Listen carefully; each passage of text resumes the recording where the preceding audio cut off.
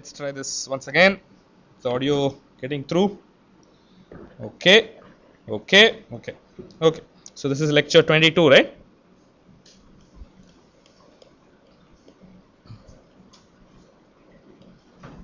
Okay. So the last thing we were seeing was uh, what was the last thing we were seeing okay so neighborhoods of depth L for for a bit node from in an LDPC code in the Tanner graph of an LDPC code and then how uh, repetition in the neighborhood as you go along and construct it corresponds to a closed loop or a cycle in your uh, original Tanner graph okay? So I want to spend some time talking about this neighborhood a little bit because we will we will use it quite often when we describe uh, decoders and analysis etc okay? So the first thing I want to do is to think of the neighborhood in the original Tanner tanagraph itself. Okay so how did I draw the neighborhood? Okay so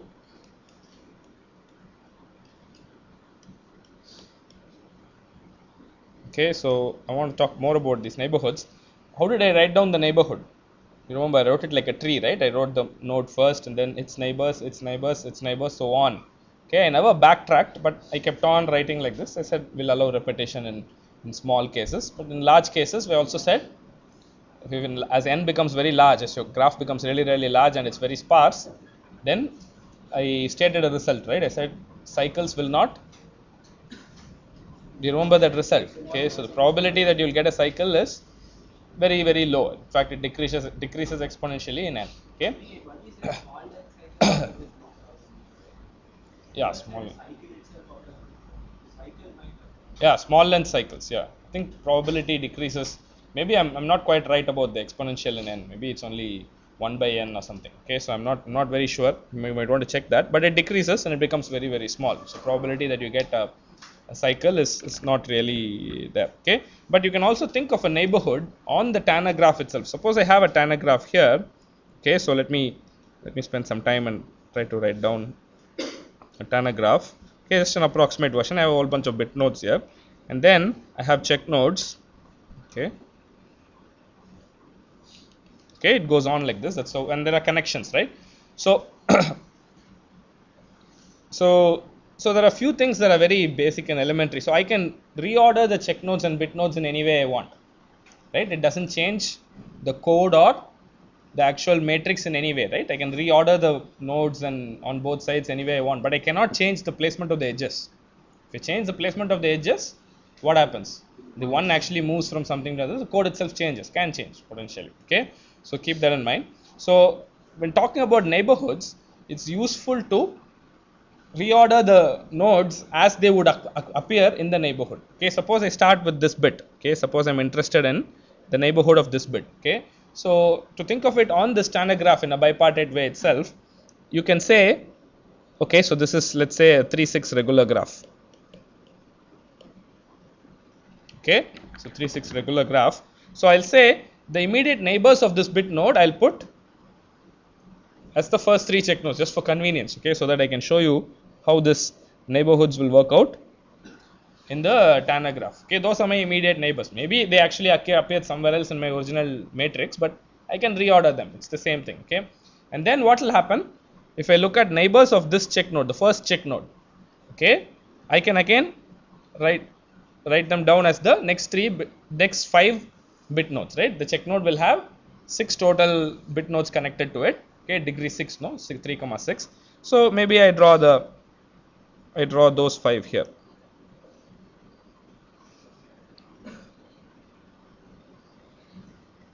okay? Is that clear? I mean that's that's okay. So likewise if you were to draw the neighbors of this check node okay one can imagine those things being here right? Okay all five appearing here. Likewise the neighbors of this check node maybe they appear here. Okay?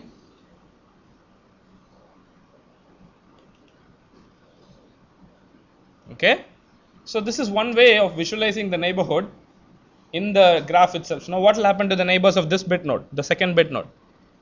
Maybe you draw them here okay? The two more maybe they appear here okay? Okay? And then you can keep on continuing like this okay? All the neighbors of these bit nodes will appear here and then those neighbors will come down here then further down to the right further down to the left likewise likewise likewise. The same thing i drew in last class in a tree fashion okay but you can also visualize the neighbors on this graph itself by going to the right going to the left going to the right going to the left. Okay what will happen when you have repetitions? You will go back to something and that will immediately cause a loop. Okay you will have a closed path closed loop going back. Okay that's one more way of visualizing it. All these things are important. It's also possible to visualize neighborhoods on the matrix itself. Okay a little bit more difficult but how will you do it? Suppose i start with a particular bit. How will i identify its neighbors on the matrix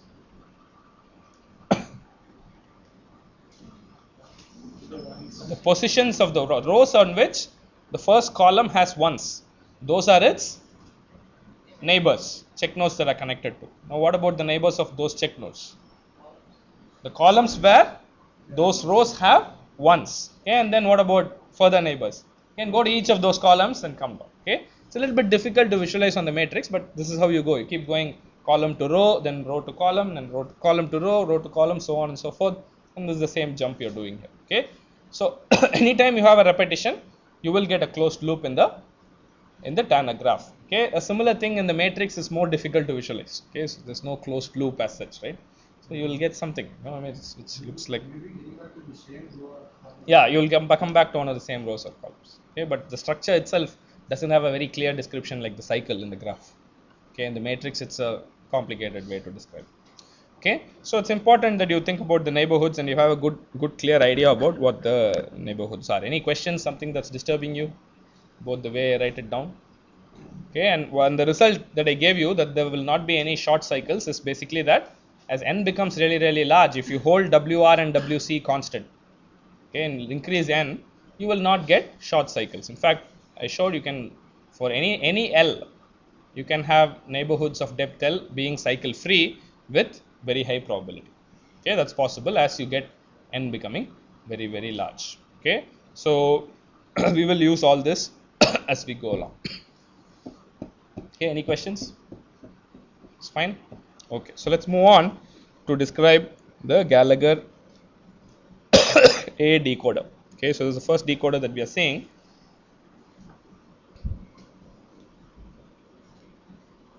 Gallager okay it's g a l a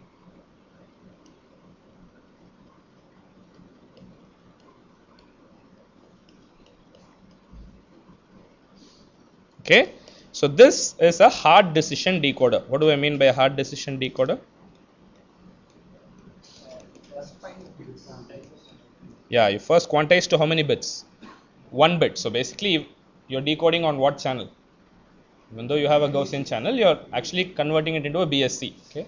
That is a very simple conversion that you're doing and then you're decoding on that. So you can think of Gallager a decoder as a decoder which works on the bsc okay? It's a simple thinking about it it's a hard decision decoder okay there are several properties. You will see the way we describe it you'll many of these properties will become will become clear. So first of all it's an iterative decoder.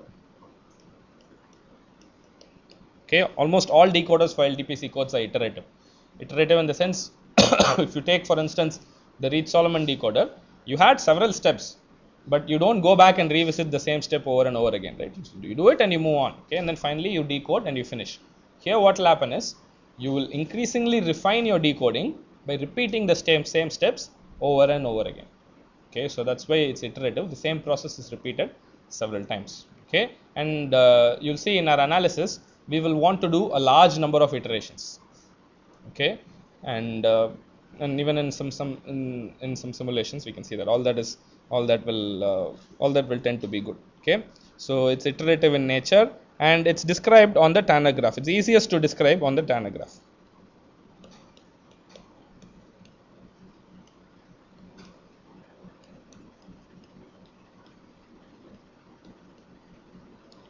okay one can write down a very clear description even with the matrix. It's not too difficult but it's not intuitive and it doesn't extend to other decoders very easily. So but if you describe it on the Tanner graph it becomes so clear and easy and simple to visualize what's going on. Okay later on i'll show you a visualization of the decoding on the matrix. Okay at that time i'll talk about what the connection is how the visualization is on the matrix itself. But the description i'll do on the Tanner graph okay? All right so so okay so as i said description on the tanner graph. So to be very specific let's say uh, we look at a wr comma wc regular ldpc code. Okay so this is what we'll fix. Okay i have not mentioned block length and how do you visualize that? N is sufficiently large so that this matrix is sparse and everything will work out very well. Okay that's that's how you think of the uh, block length. And suppose I- already have a parity check matrix. Okay so I'm, i already have a parity check matrix. I already have a tanner graph okay so so what's my channel model? My channel model is i'm transmitting a code word. How did i get a code word? I have to encode. Okay i have not talked about encoding that much. Okay so but you know it's a linear code. You will have a generator matrix you'll have a parity check matrix. You can encode. So one can potentially do it. Maybe it's complex maybe it's uh, not very simple but one can encode. Okay so i have somehow encoded this code word is being transmitted and i'll say it goes through a binary symmetric channel with probability of transition p and i get a received word r. Okay so this r is going to be r1 r2 so on till rn. Okay where n is my block length. And this is my input to the decoder. Okay this is going to be run through a let's say the Gallager a decoder.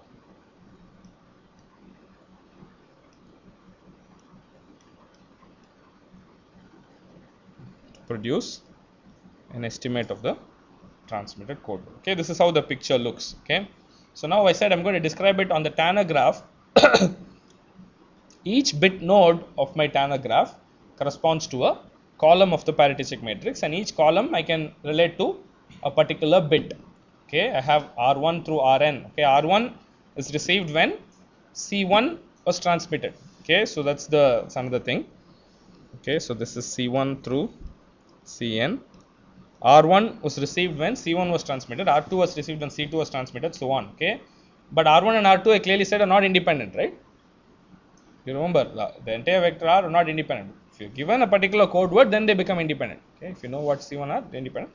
Otherwise they are not independent. So but but it's very usual to associate r1 to the first bit node of my tanner graph okay? So what is that exactly? R1 is immediately if i don't do any processing r1 is the best estimate i have for c1 okay is that clear? Okay so do you see that simple it's a very simple thing. R1 is received when c1 is transmitted. What is the probability that r1 equals c1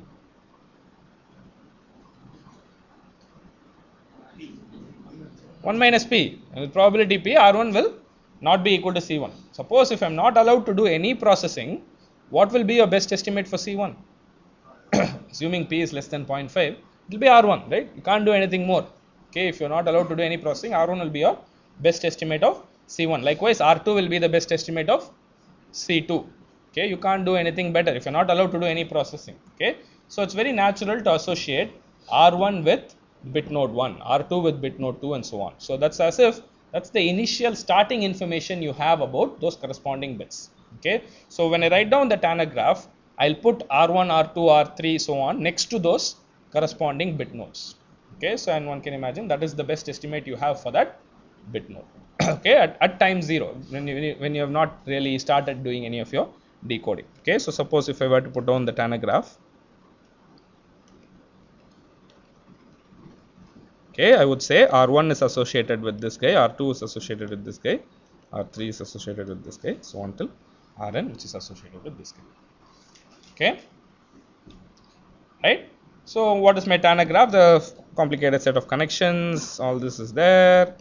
Okay? And then i have a bunch of check nodes here. Okay? That's my tanner graph okay? Okay? So like i said the procedure is iterative. So iteration 1 is slightly different from the other iteration. So we'll describe iteration 1 separately and then we'll go on and repeat the same steps over and over again. Okay so what's iteration 1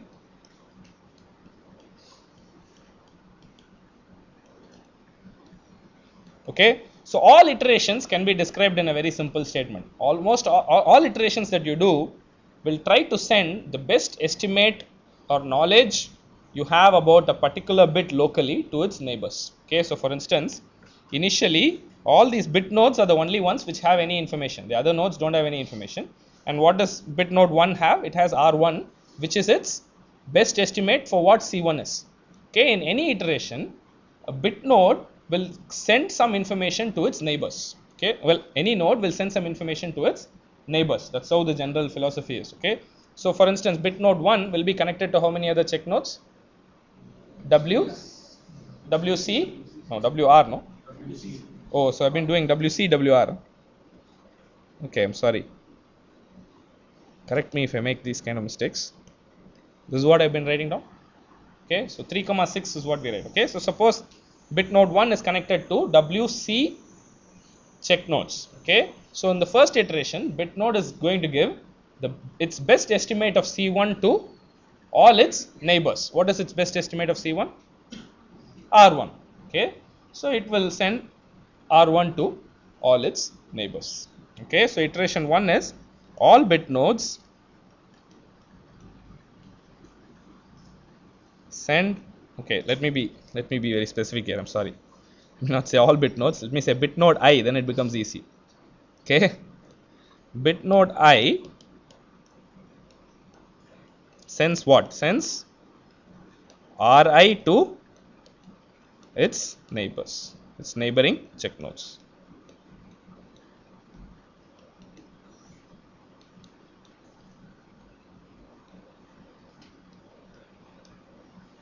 okay.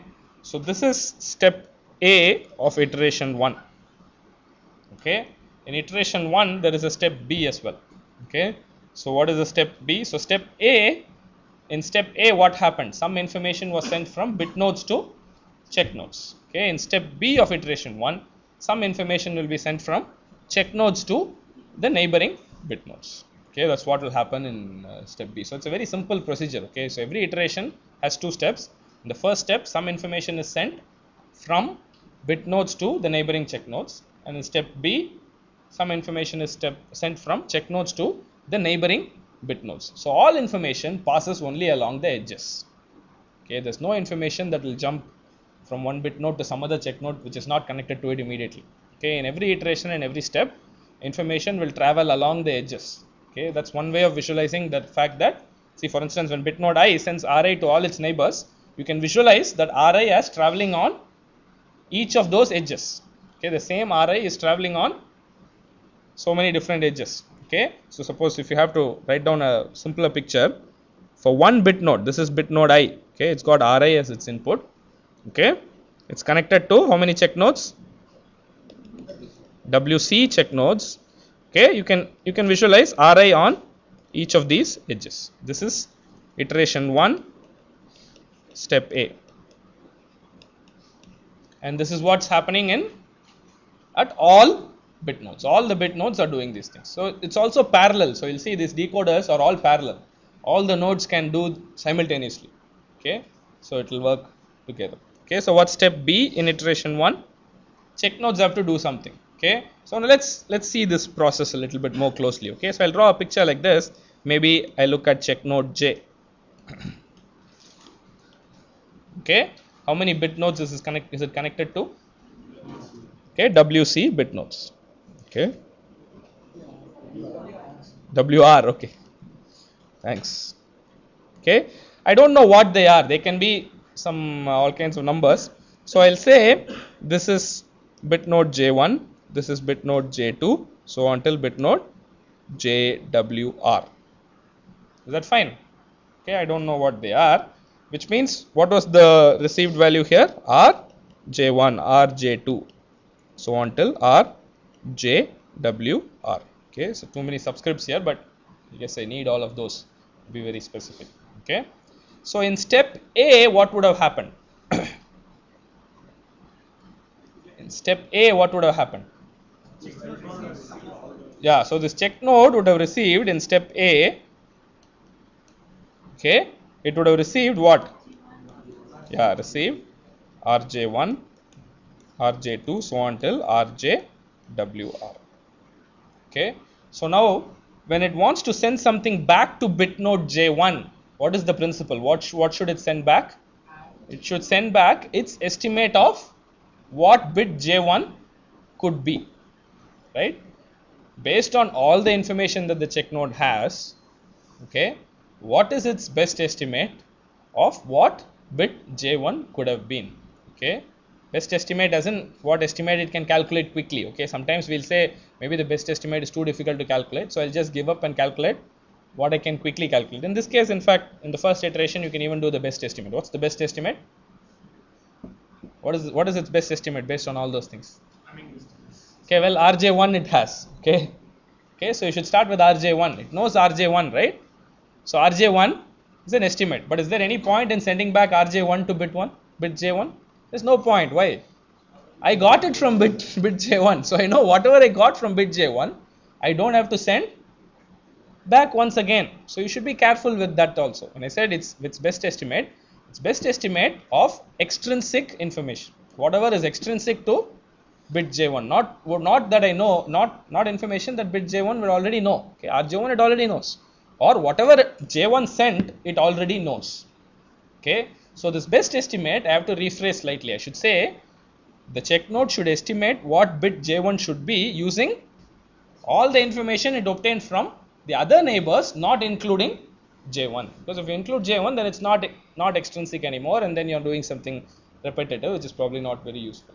Okay? So suppose i say you should not include rj1 what is what would you do to get an estimate for bit j1 from the other things?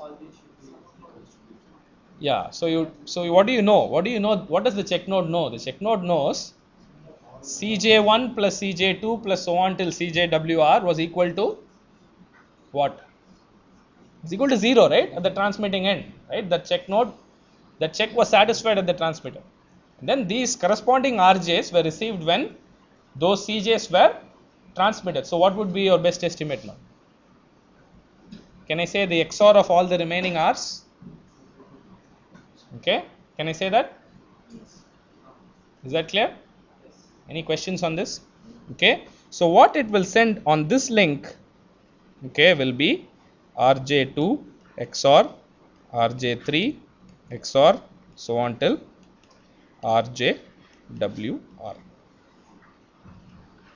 okay? So remember all the information is flowing. See in step a the information flowed in this direction. In step b what will happen? It will flow in the opposite direction. Okay? It will flow from check node to bit node. So what should you do here for this guy rj1 xor rj3 right? That's what you do. Rj1 xor rj3 xor so on till rjwr okay? Okay watch out for this and keep thinking about it. I'm going to ask a slightly non-trivial question next okay? Some should be able to answer it okay? So the next thing is for the I, so likewise you can do for everything. And then the last step would be rj1 xor rj2 xor so on till rj wr minus 1 that clear? It's quite simple. Okay so if you were to implement this step if you want to try to implement this step very efficiently by minimizing the number of xors how many xors do you need to be able to compute all these messages? Okay, first we calculate RJ1 XOR and so on RJWR and then XOR each one. okay so so you can be slightly smart right? So you see the nature by, in a way in which it comes. Brute force way of doing it is what? Wr minus 1 times wc no. times? No i don't know. Wr minus 1 times wr is it get that did i get that right or wrong? It's correct? Okay everybody is happy? Okay. But that's that's that will waste a lot of computations. Okay so you can do it in how many steps? Yeah, 2 wr minus 1 it's possible to do. Okay so you do wr minus 1 for computing the overall parity and then xor with each of those guys which is another wr xor okay so you can simplify your computation. So it's not too bad. Okay so it's, you're not doing wr squared you're only doing wr uh, 2 wr uh, computations for it. Okay so that's the first question which is slightly non-trivial. The next question is more non-trivial. For the first step okay what is the probability that your estimate was wrong? For step a step a what is the probability that the estimate that was sent on a edge was wrong? It's p. Do you agree? It's p. Okay in step a it is p. Probability that ri not equal to ci which is p. What is the probability now that one of these estimates is wrong. Yeah do the computation. See if you can do the computation. What's the probability that one of these estimates is wrong? It's an important computation. Try to do it okay assume the all zero code word was transmitted. If you, if you want to simplify your calculations assume all zero code word was transmitted okay it turns out the probability does not change depending on what code word was transmitted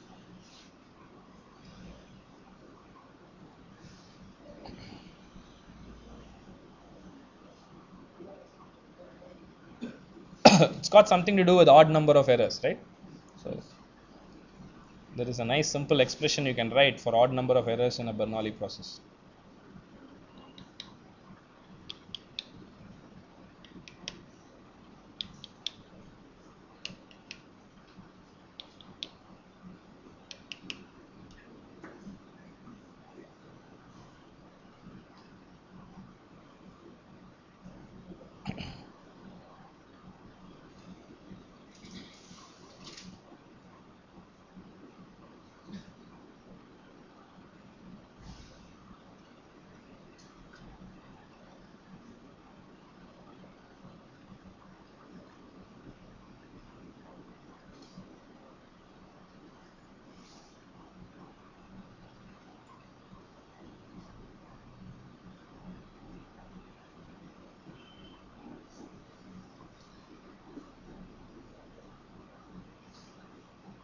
okay so i'll write down the answer.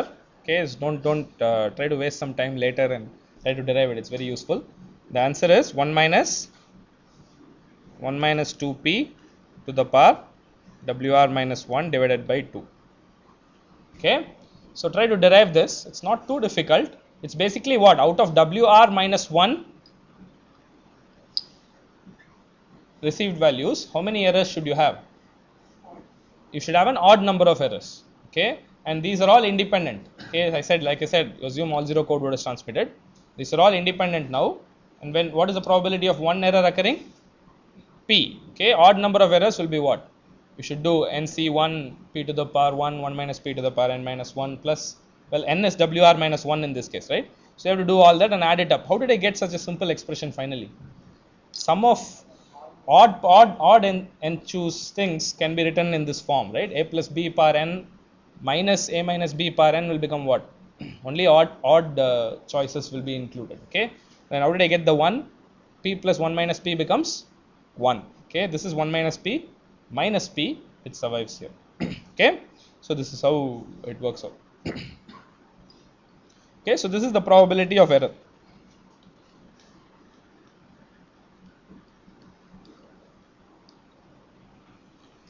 Okay so that's step b okay so the first iteration is quite easy to describe. Now in second iteration onwards okay i'll say iteration l step a.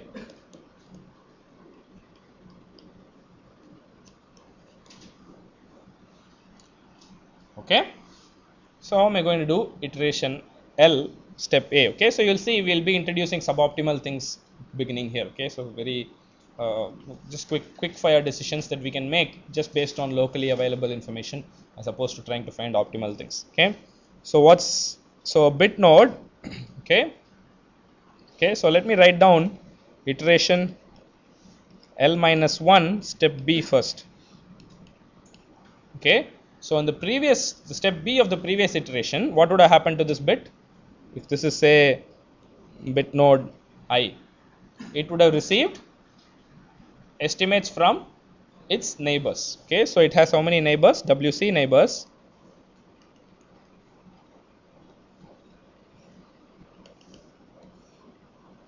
Okay so maybe these are i1 i2 iwc okay it would have received some estimates. I need some notation for those estimates. It turns out whatever processing i do depends on those messages. So i'm going to call them something. Okay so i'll call this uh, v1 v2 VWC.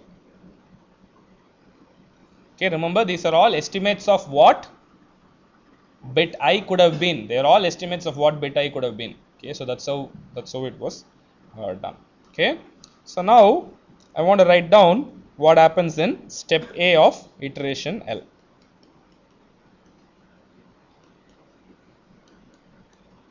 Okay, so I have this bit node.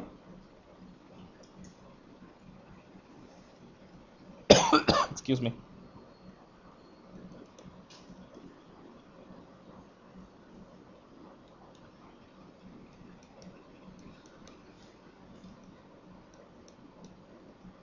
Okay, so in this step, messages are going to be passed. So let me write down here. I'm sorry, just to be very precise, I'll say L minus 1 here because those were messages. Yeah, yeah.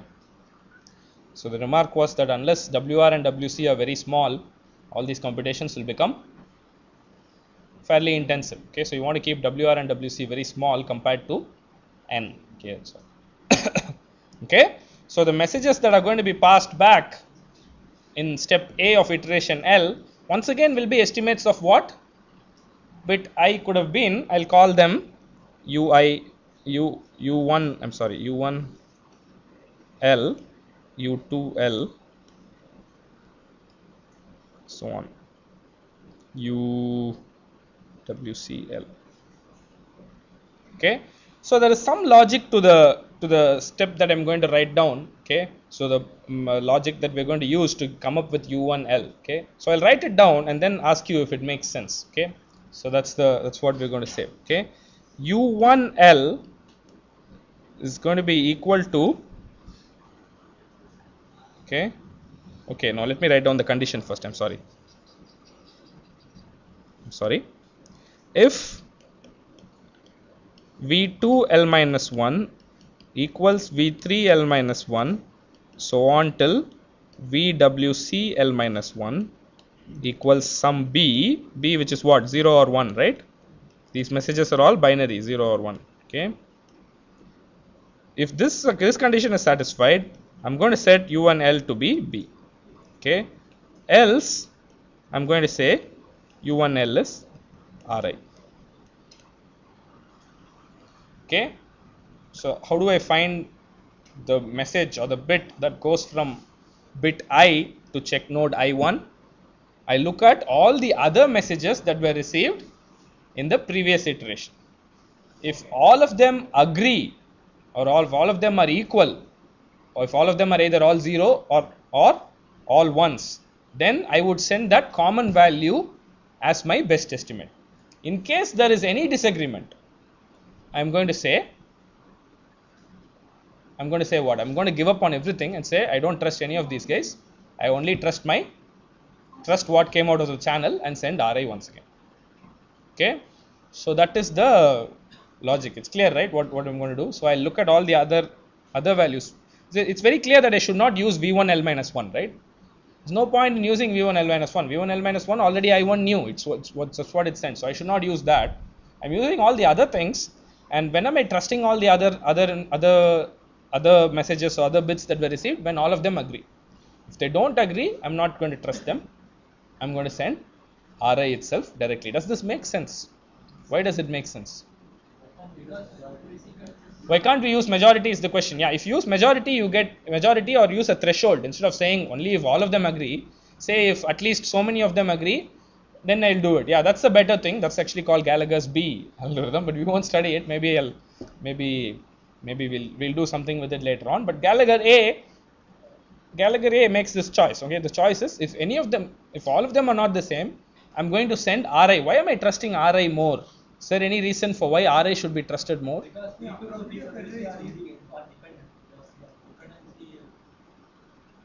Well dependency is not the only issue. Intrinsically you should trust ri more. Why?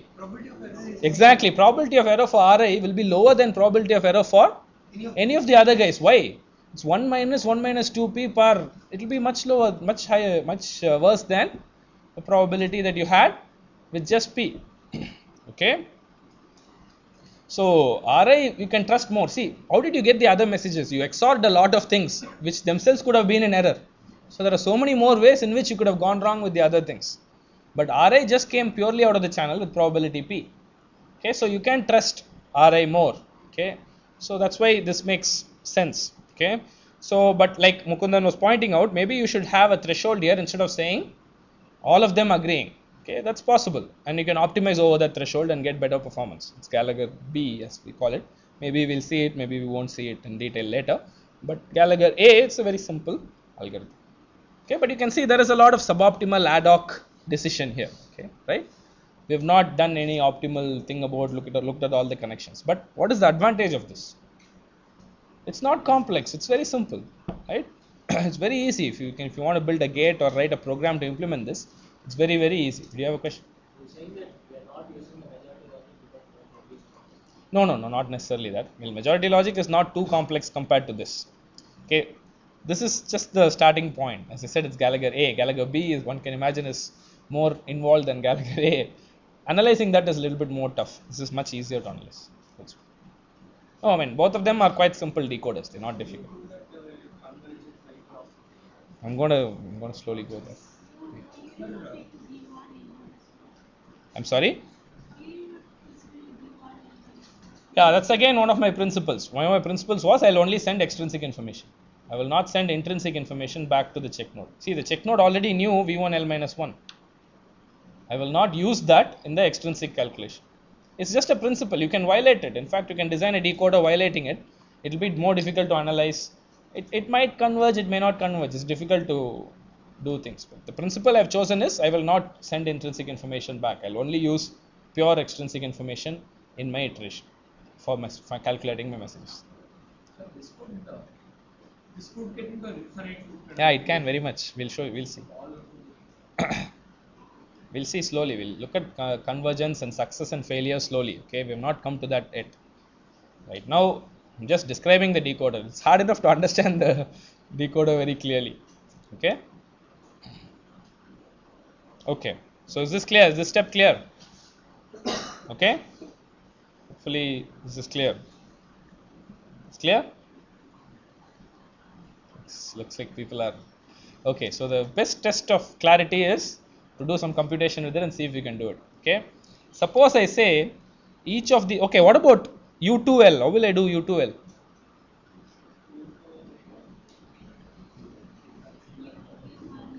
Yeah, if V1 L minus 1 equals V3 L minus 1. So I will not use V2 alone in that equation, but I can repeat the same thing. You see that? Right? I'll write down exactly for just U2 alone if V1 L minus 1 equals V3 L minus 1 so on till VWC L minus 1 equals B then you set U2L equals B else you set U2L equals Ri okay and one more thing which I have not mentioned explicitly but it's clear. All check nodes have to do this. Okay it's not enough just one check node doesn't. Okay when you say i check node all the check nodes have to do it and they can do all of them in parallel right? Theoretically if you have parallel processing possible all of them can happen at the same time. Okay this is clear no? Yeah Saying that each of each of the A is less trustable than the original R. yeah it will be. No totally overall the probability is better. If you include both ri and these guys you'll get better probability. Right now i'm, I'm trying to think of the next iteration okay? After the first iteration i also have to make a decision on what my ci hat would have been. Okay i've not come to that. Slowly we'll come there. There you'll see that will be better probable you'll include ri everything and you'll want to increase your probability see a parity see that's very easy to imagine. If you if you do x x uh, a xor b a can be in error b can be in error right with the same probability. A xor b will be poorer right because both of them can be in error. You're doing an xor anything several things can go wrong. That's a very natural thing. But if you use all the information together you will you will get some gain. Okay okay so the computation i want you to do is the following. Okay suppose i say assume all zero code word was transmitted and all that for simplicity. Okay suppose i say probability that any of the vi at the l minus 1 iteration are in error is some ql okay so i'm going to define a ql now. What is ql probability that v l minus 1 equals is an error okay?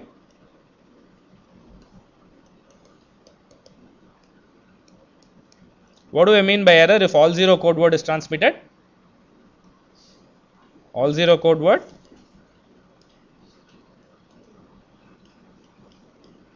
implies error in vl minus 1 if if what vl minus 1 equals 1 okay if it is equal to 1 then there is an error. Otherwise it's not an error. Okay. So if you go back and look at the first iteration at the end of the first iteration right we had the same probability for any of the vi's to be in error. So i can drop the subscript there and simply say v l minus 1 and ql is the probability that v l minus 1 is an error. Okay. I want you to compute the probability that u l will be in error okay so i'll call that as pl probability that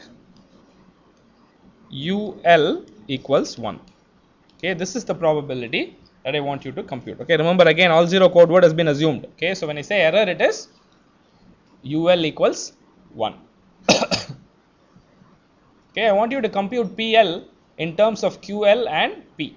Okay you'll need both try to compute that it's a simple probability calculation but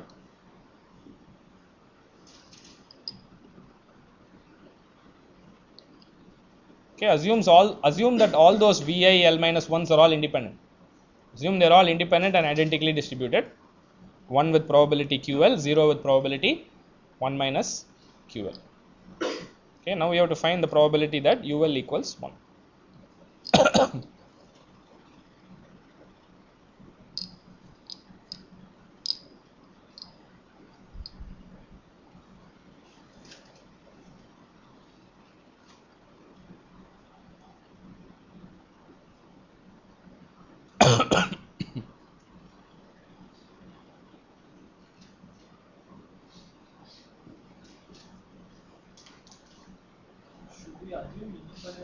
VI?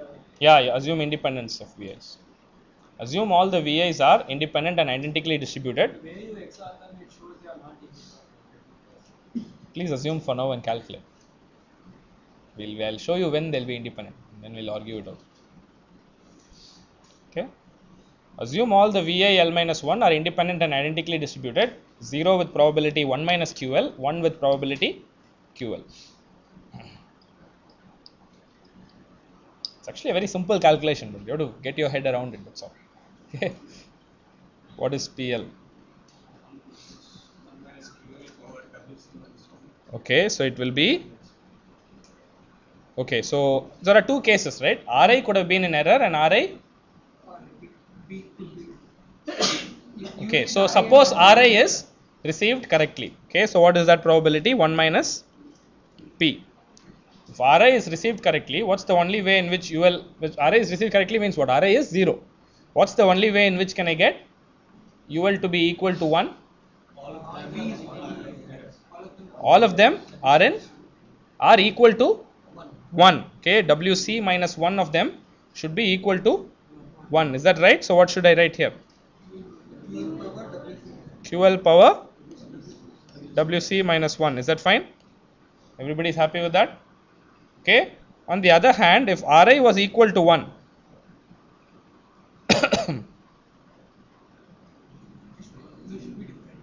yeah they should not all be 0 that's the only thing. What is that probability? 1 minus 1 minus ql power wc minus 1 do you see that? Do you agree with me?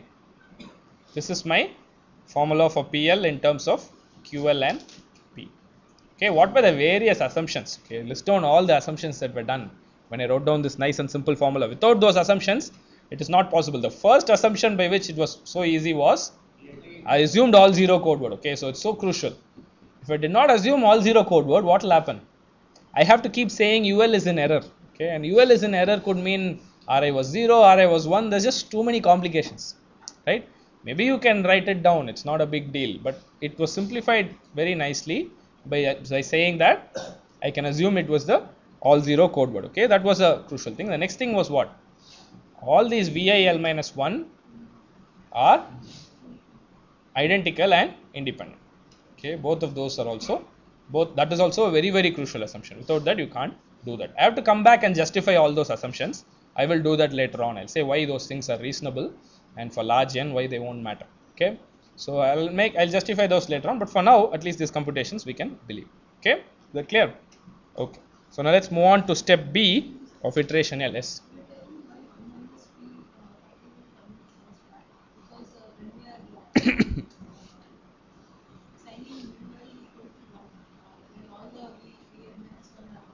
Hmm. When we are ignoring the uh, value of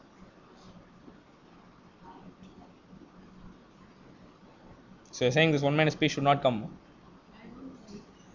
See, there's been uh, this question always comes when I write this down. okay, maybe we can talk about this uh, outside of class. Okay, so it should. Uh, I've seen I've seen an expression written like this. So it, it, it has to work like this. I think I think it's correct. We'll see. Okay. Anyway, maybe maybe there is some bug here. If there is a bug, I'll come back and correct it. I know I have the right version somewhere. I can dig it out. Okay, I think this is fine. Okay, we'll see. Okay, but it's okay. I mean, the exact form and the correctness of the expression is okay. I mean, you, we can check it later. But the philosophy is what? When you make all these assumptions, you can compute probability of error involving QL. Okay, it's very important. This will come later on. Okay, when we analyze this, these expressions will be very very crucial. Okay, all right. So now let me write down step B. Okay, so all these expressions not being exactly the same is okay in the class, but it's not okay when you write a quiz. Okay, you write an exam, answer has to be exact. You can't say all this is irrelevant and all that. Okay, it is unfortunately true. But you have to keep that in mind. That's the advantage of teaching as opposed to writing exams. Okay, so step B. step B is actually the same as step B for iteration one. Okay, it's not very different, but I'll write it in the most general case. Okay, the most general case if I look at check node J, it's connected to say bit nodes J1, J2, so on till JWR. Okay. Again, I have to actually write down step A. Okay. In step A, what would have happened? It would have received some things. Okay. So for that, I need some notation. So I'll say this is step A. Okay. Let's suppose that what was received is u1l u2l okay notice there'll be a clash in notation here and uh, that's the best way in which I can denote it otherwise if we keep changing the notation being very careful it will just get too messy and unnecessary okay so I'll say the messages that flew uh, that came from the different bit nodes to a particular check node j in it step a of iteration l where u1l through uwr l okay so what happens in step B? What would you do in step B? It's very easy. Yeah, take the XOR of remaining bits for each one bit. Okay, so that's what you do. Okay, so let me write that down formally.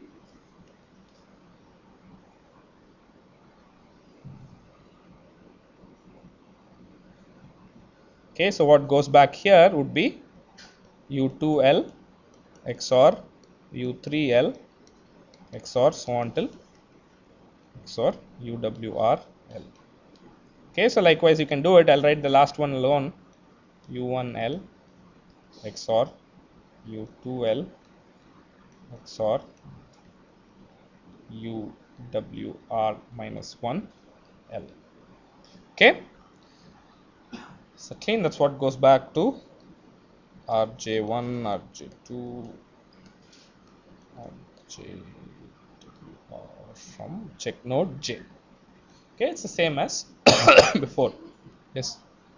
What she asked, is it not because uh, rho into QL for WC minus 1 is included in the next step? Yeah, I think so.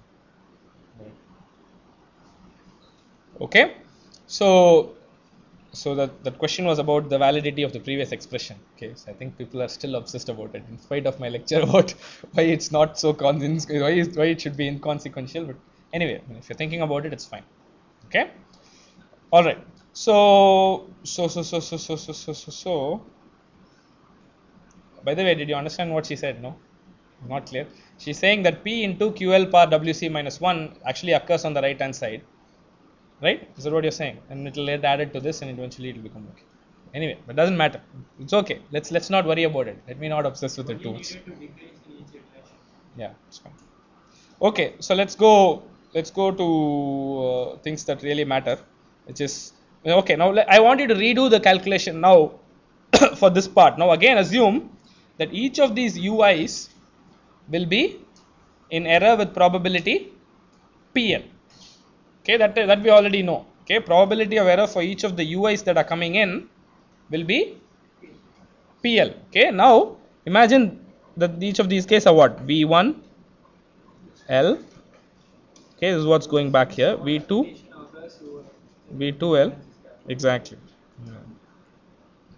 Okay v wr l okay these are the messages that are going back. Now we have to compute the probability that vi will be in error or vi will be equal to 1 assuming all zero code word. Okay what will you get? You'll get a very similar expression to what i got before and that can be easily done. So you see q okay so i think i i made i made a slight goof here.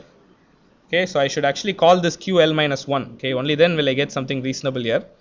Apologize very profusely for this because this concerns vl minus 1 i don't know why i called it ql okay so this should all be minus 1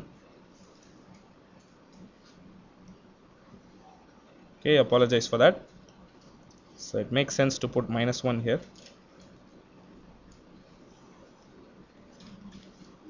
Is that fine? Okay so i'm sorry for that. Now i can write down ql will be equal to what? 1 minus 1 minus 2 pl raised to the power w r minus 1 divided by 2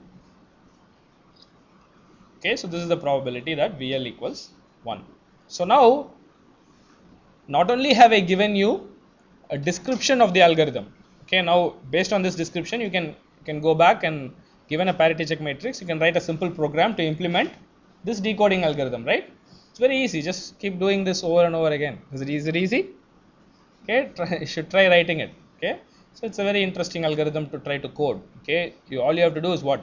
Have an algorithm to generate parity check matrix. How, how will you generate a parity check matrix? You can use Gallager's construction. Pick a suitable n do Gallager's construction you will get a parity check matrix. Then generate the all zero code word introduce errors according to some probability p. Okay then write a program to implement this decoding algorithm. You can do that. Not only can you do that you can also analyze up to some assumptions. What are the assumptions? The big assumption of being independent and identically distributed. By- up to that assumption you can also analyze. You can find pl and ql as l increases. Okay? So i can in fact write down one iteration for pl as a function of p l minus 1 okay for l equals 1 2 so on.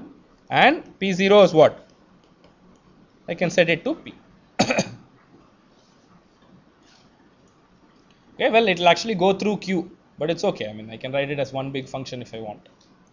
Okay? So so the probability of error can also be analyzed in a very nice way. Okay so go back and contrast this with the bitwise map decoder and ml decoder we had optimal wonderful decoders but what did we have to do to even think about analyzing? We had this complicated expression for which you have to find pdf. Okay here we are able to make some approximations. I'll justify the approximation soon enough. We're able to make some IID approximations and we're able to write down probability of error analysis as a very nice recursion. Okay so now we have to prove some properties for this recursion. For instance what would be a desirable property for this recursion? It should decrease right so pl should be a monotonically decreasing sequence okay? Try to prove it. It can be proved based on this iteration okay? It's a complicated thing. You'll have to do some careful proof but at the end of the day it's only real analysis. It's only nice smooth functions. There's nothing very nasty going on. It's just polynomials. You can prove it. You can show that pl will be a monotonically decreasing uh, sequence okay according to this iteration. Should get that okay what what can happen possibly to monotonically decreasing sequences as l l in l tends to infinity. It's also positive right? It's greater than zero. It's bounded away from negative infinity. So now when it monotonically decreases what can happen? Only two things can happen. Well only one thing can happen. It has to converge right? It has to converge. It cannot escape convergence because it's bounded below at 0 and then it is decreasing. So it has to converge. Only thing is it can converge away from 0 it can con- converge to a non-zero value. Okay so those two cases are of interest to us. Will this sequence converge to 0 or will this converge to some non-zero value? Why is it of any importance to us? Well that's the probability of error and you want it to converge to 0 okay? Okay so what is this probability of error for? Probability of error for the message that goes from bit node to check node at iteration l okay? Is, the, is it enough if that is 0 yeah that's that's it's enough right? If that is 0 then what will become 0 i haven't told you how to make decision yet okay right? You have to ask that question. So how do you make a decision after iteration l Okay. Yeah so that is also important. Decision after iteration l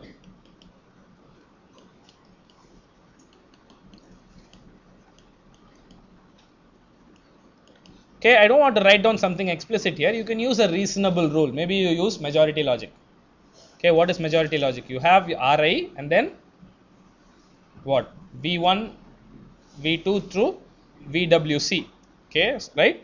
After iteration l for bit no bit i all the information you have is what? Ri and then you have v1 l minus 1 am i right? No v1 l no. V1 l minus 1 did i get that right l minus 1 right yeah l minus 1 v2 l minus 1 yeah at iteration 1 you don't have anything okay so am i getting this right or wrong should be l or l minus 1 After the iteration, will be 10. After the iteration, during the iteration, you have elements. yeah after iteration You get- you get 10. okay so it will be l no yeah i wrote after here man clearly so so clearly it should be l. Okay? So maybe you make a majority vote or maybe you give more preference for ra okay? It's okay. I mean you can, come up with some reasonable rule okay? So maybe majority decision okay? So ci hat equals majority of ri v1l through VWCL. Okay. If PL equals 0, then you are guaranteed that the majority decision will be correct. Okay. So it's enough if you force PL to 0, your decision will automatically become accurate. Okay.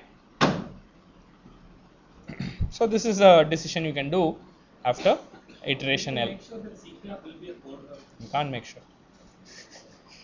so what you do in practice is the question was how do you make sure that C cap equals so maybe I put a L here C cap L which is equal to C1 cap L C2 cap L Cn cap L you can make all these decisions fine but will it be a code word or not? That's the question you have to ask. Okay you won't know if it's a code word or not. How will you find out if it's a code word or not? Should be 0. multiply with h times c transpose see if it goes to 0 okay so what people do in practice is if the number of iterations is not a problem you keep on iterating till you get a code word after a particular. And you have a absolute maximum number. You have like 100 at which you give up and stop. Say okay i've not got a code word now. Maybe i'll never converge to a particular code word. So in practice you have to use all those uh, things to when you write a program and let it decode. Okay? So the first thing i want to tell you is this can get very complicated. Okay? So you have thousands of bit nodes. Okay? All these messages flowing back and forth. Okay the only handle you have to analyzing it is this pl and pl calculation of this pl involves an approximation which says i've assumed all these things are iid if there is any repetition in my neighborhood right? If there is any repetition in my neighborhood you will start getting dependence. Why? Because the same bit nodes are coming from different places. Okay? But if up to depth l if there are no repetitions in my neighborhood what does it mean? Up to iteration l my calculation for pl is valid. Okay it's not wrong. Okay so this is the connection this is where everything comes together. Okay okay if in my neighborhood up to depth l i don't have any repetition or what is it in terms of cycles in the Tanner graph if there are no cycles of length 2l or lower in my Tanner graph, my decoding will be accurately analyzed up to iteration L by this IID assumption. Okay, so it's a very simple statement to make at the end of the day, but hopefully you saw all the all the directions that it took, and finally we came came up to one very nice, uh, uh, very nice statement. Okay, so that's the next last thing I want to write down. Okay, so the length of the uh, cycle minimum length of the cycle becomes important. Okay, if there are no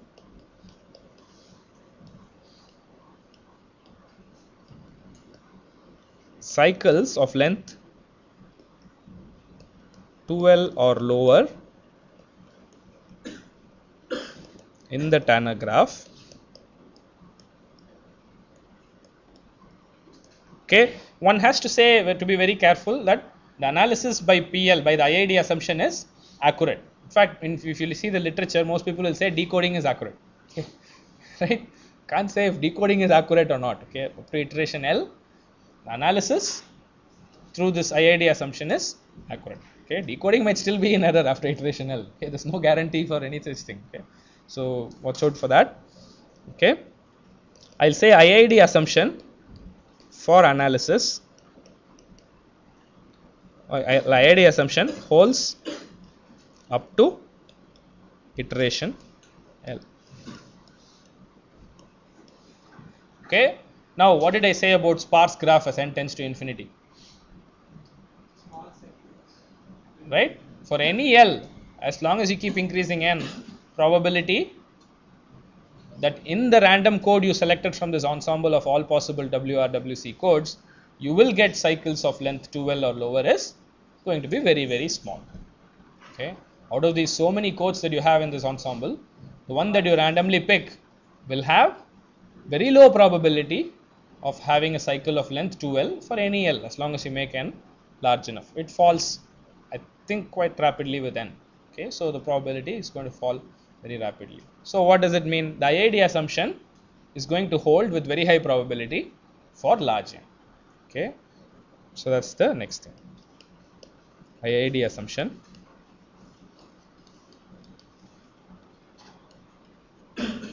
holds with high probability for any L, any finite L as n I'll say tends to infinity as, as long as n is large enough. Okay. Sorry. Of block length n.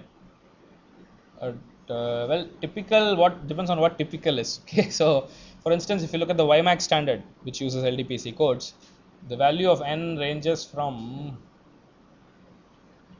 24 times 24. What is it? 576. 576 to 24 times 96, which is I believe uh, 2304. Okay, so 576 to 2300. That's what they use in WiMAX because in wireless you can't use very large block lengths, right? You have to be short block length. There's all kinds of problems in wireless. So, so that's what they use. Okay, so in practice, if you say typical is what is done in practice, then that is the thing.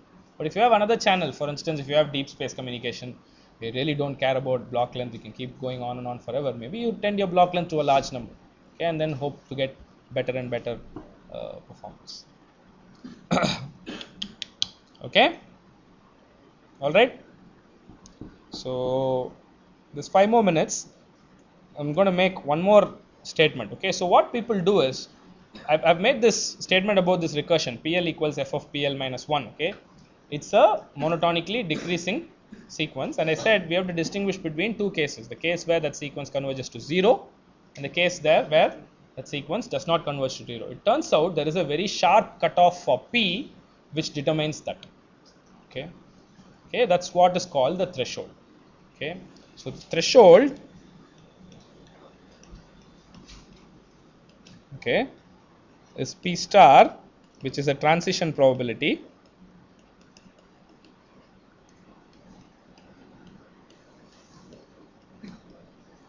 Okay. For p less than p star pl uh, tends to uh, 0 and for p greater than p star pl will tend to infinity. It turns out this is valid for that iteration that we had. What is the iteration that we had? Pl equals f of pl minus 1 so how will you test whether this is valid or not? Fix some wr and wc okay? So fix it to be 3 comma 6 okay? Start with different p naughts. P naught is p right? Remember p naught is p. And then do that iteration maybe in matlab or something and see if pl tends to 0 well not infinity i'm sorry tends to some. That's quite funny. Finite value. Thanks.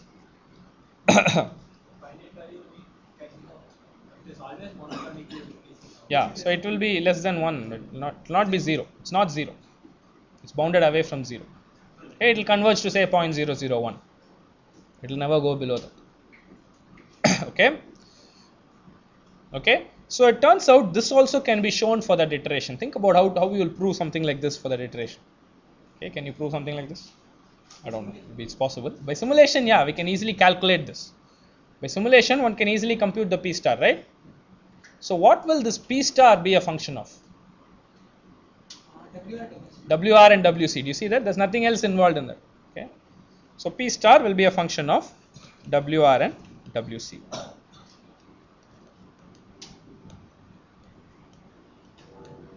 why? Because your iteration itself changes right? In one you multiply by raise it to the power wr minus 1 raise it to the power wc minus 1 and all. The iteration itself changes. But all these properties are true. It's always true that irrespective of wr and wc their iteration is monotonically decreasing. Okay? It's also true that irrespective of wr and wc you always have a threshold probability below which your pl will tend to 0 okay? And you can compute this p star by doing this iteration repeatedly in, in simulation very very easily. It's easily computable. Okay? Now notice this p star actually tells you something about probability of error when what all should you tend to infinity now for this p star to be actually a probability of error? Or this p the well well you see you see where it uh, okay so let me be careful okay? So for this p star to have any meaning in practice okay that's what i should say. It's not probability of error. For this p star to have any meaning in practice what all should i tend to infinity? First of all i should tend l to infinity right? I can make a statement like if i have a particular code this code will work with zero probability of error for p less than p star and it will work with non-zero probability of error for p greater than p star. If i have to make that statement then what all should i do? I should tend l to infinity first okay?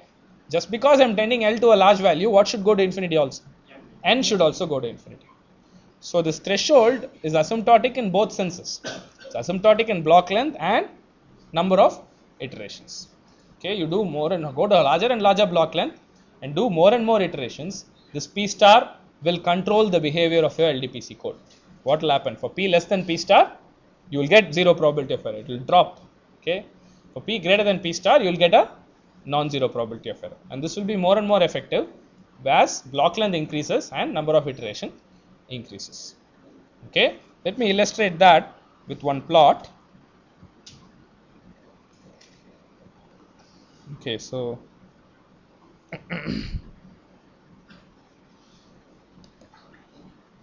okay so this is the plot. Hopefully you can see it. So so i'm not i'm not importing it into windows journal. Maybe maybe you can add it later so so so this is a plot of simulation okay? So this is purely simulation. There is no analysis here. I have done simulation for ber bit error rate versus transition probability of can you read it? Transition probability for a binary symmetric channel. And can you read the title? What does it say?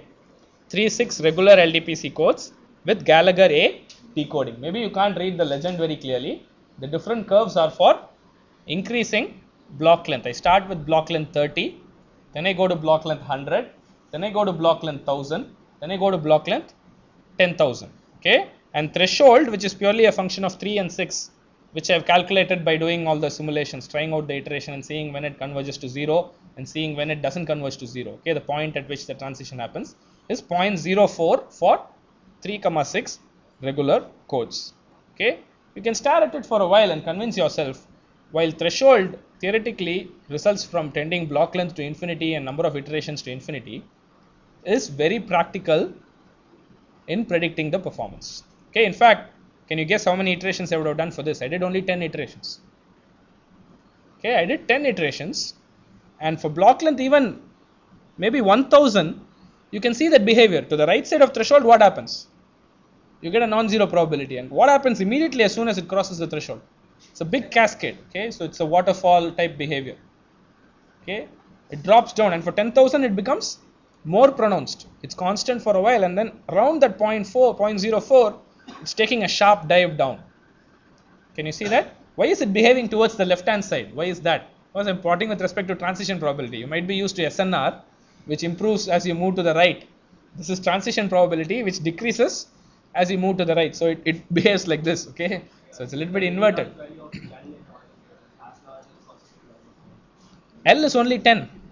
My number of iterations is only 10 in this plot. Okay. so you see, even for small number of iterations and reasonable block lengths, okay, 1000, 10,000 one might say is not too unreasonable. Okay. Threshold is quite an accurate predictor for actual behavior across the channel. Okay, so what does this mean? It means all the assumptions you made, all those probabilities are falling very fast with them. Okay, that's why even for small n, all these things tend to hold, and even for small l, these things tend to hold. So that PL is converging very fast. When it wants to go to zero, it goes to zero very fast. Okay, so all those things are happening. Okay, so that's why uh, this threshold, while while we made all those assumptions, fantastic assumptions in the in the analysis, is very valid in practice. Even for block length 30, okay, well, for block length 30, it's really bad. Okay, I'll admit it's just a straight line falling down, but block length 30, maybe maybe you don't care too much. Okay, but even block length 30, notice how remarkable it is. Okay, I'm doing 10 iterations, and what is this point? Okay, so this point here, can you see it? Can you see my cursor moving around that point? The probability of error is what? 2 times 10 power minus 3, 0.002. And what's the probability of output bit error? It's below 10 power minus 4. Okay, so it's doing fine. You know, I mean, it's not it's not too terrible in terms of just if you just think of it in terms of raw behavior. Maybe you can't expect anything more from a rate half code with block length 30. Okay, maybe I'm sure there are better codes than this. Just giving you an idea. Okay, for larger and larger block length, imagine how remarkable it is for the 10,000 code. It's a 5,000 by 10,000 parity check matrix. Okay, I want you to step back and imagine how non-trivial this decoding is. Can you imagine doing any other decoding for that code? It's not possible, right? It's just a random code that I constructed with an LDPC code. I'm able to decode it and show you a plot for block bit error rate going down to 10 power minus 5. Okay, which means how many blocks would I have simulated? In fact, for this, I've simulated 100,000 blocks. Okay, in MATLAB, it takes about maybe I don't know one minute, two minutes, less than that. Okay, so that's the that's the remarkable nature of all the things that have gone into the design of LDPC codes, into the decoding, into the analysis. So it all comes together in this plot, as far as I'm concerned. Okay, we did a lot of things, we did a lot of assumptions, but at the end of the day, for long block lengths, LDPC codes can be made to work, and reasonably long block lengths, not that too, not that very long—and It's low complex, it's implementable, it's wonderful. Okay, and there's no wonder that they are uh, out there. Okay, and the and now, if you remember capacity, what was capacity for rate half BSC? 0.11, right? 0.11 is capacity. Threshold is 0.04 here. Okay, right? Even if I tend n to infinity, as long as I keep my 3 comma 6, I can never be better than threshold, right? I'll never tend to 0 better than threshold. Okay, so this 0.04 kind of limits me. Okay, I can. So what should I do now? What should I try to do now? I should try to design LDPC codes for which thresholds will, in this picture, move to the right. right? Maybe rate half LDPC codes for which threshold is very, very close to 0.11. Can we do that is one question. Okay? Okay, so you'll see naturally you'll have to go to codes that are called irregular codes for that. Okay, and that means more more careful study and all that. Okay, so that's the direction in which we'll move. Okay, so I thought I'll show you an animation, but we don't have time. I'll return your answer papers. I'll show you the animation uh, in the next class. Okay, I'm sorry.